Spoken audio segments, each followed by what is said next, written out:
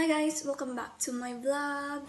So today's content for my vlog that I have to read this book from XX Akane XX. Title of the story is Hands All Over. So this is one of my favorite story. I read a lot of books of Miss Akane and this Hands All Over Me is one of my favorite. So guys, I want to rate this story to 0 to 100. So for me, this is for um, 92, I guess. This story was really made me adore because it really inspired me a lot. So guys, um, ang story na ito is si Aura. Yung, yung story niya, yung yung parang real life ng buhay niya, parang totoo. You can feel her pain.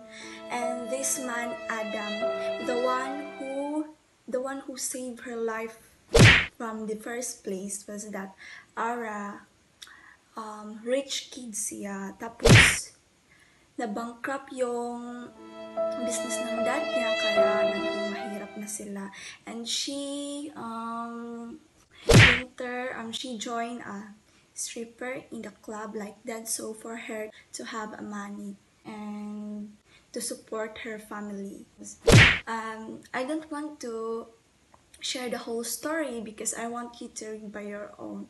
I want you guys to read this so much because it was so very nice. So guys this story made me inspire a lot. Inspiring me by my whole life this story makes you feel so very special. She was dreaming to become a successful someday but she first into fail because every success has a story of a failure. Because even beyonce she 100 song after she got the hello. And also Mark Zuckerberg, before the Facebook, he also invented the games and the chat system before he achieved the Facebook.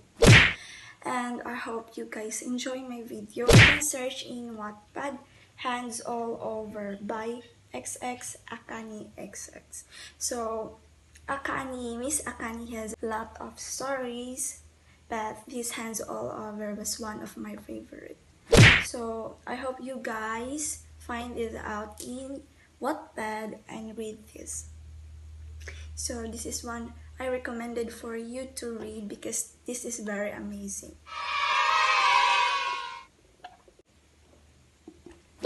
So that's all guys. I hope you enjoy my video and also please don't forget to subscribe, like and comment.